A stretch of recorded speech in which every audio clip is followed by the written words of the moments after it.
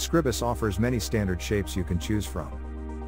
These shapes can be adjusted with the node editor if needed, and they can hold images. The default shapes are good starting points, but if you need a custom shape, you can draw a path yourself.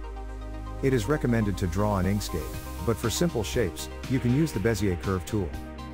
I will compare Scribus and InDesign. In InDesign, to draw a path, I click on the pen tool. I click to insert a point.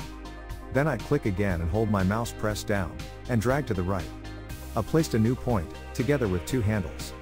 I click again. I created a curve. Now let's do the same in Scribus. I click on the Bezier Curve tool. I click on the canvas. Then I click again, and hold my mouse pressed down.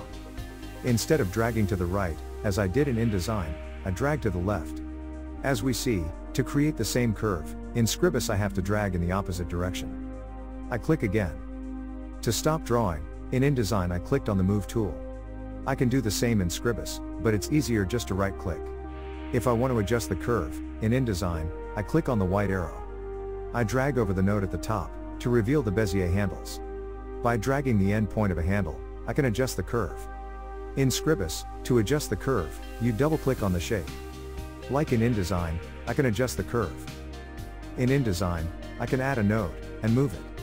And I can remove a node. And in Scribus, I can add a node, and move it.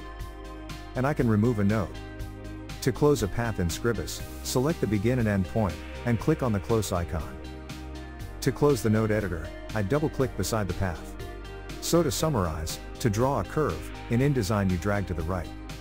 And to draw the same curve in Scribus, you drag to the left.